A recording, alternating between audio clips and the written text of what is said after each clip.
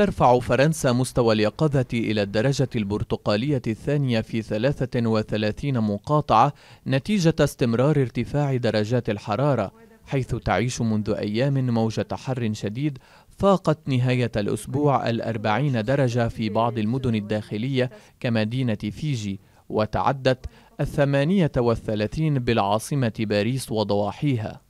الحرارة لا تزال مرتفعة جدا في هذه الدوائر ولكنها تنخفض شيئا فشيئا. لم تعد الحرارة تتعدى الثمانية والثلاثين فهي تتراوح بين خمسة وثلاثين وسبعة وثلاثين.